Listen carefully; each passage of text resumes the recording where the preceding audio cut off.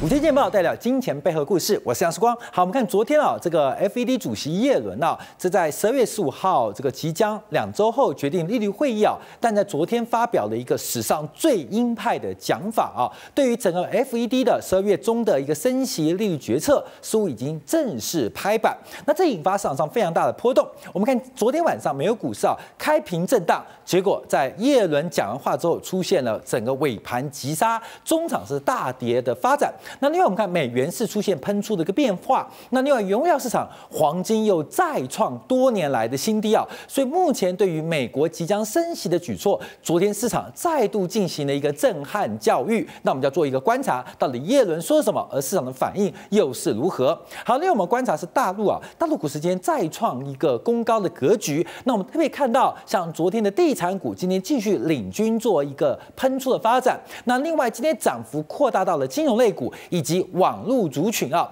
那我们还是要观察，因为这一次大陆的一个供给侧的改革，将是一个非常具有观察性的一个方向。因为我们不断的强调，全球的政府通常是针对需求面来做刺激，可是大陆再度启动是供给端的一个改革，那大陆的做法跟玩法会给整个中国的经济跟全球的金融市场产生什么样的影响？我们再做掌握。好，另外俄罗斯跟土耳其的这个争端呢越来越高。甚至连美国都看不下去，那美国态度就是土耳其，你别掰了。那基本上你炸就是你炸的，而且看样子啊，这个好像呃理是失去的。所以我们看到现在俄土的争端到底会有什么样的局面？特别是俄罗斯的南向政策掌握到了这次机会，公布了大量的证据，那土耳其的角色就非常尴尬了。好，怎么解读？我们今天请到四位来宾，七金钱报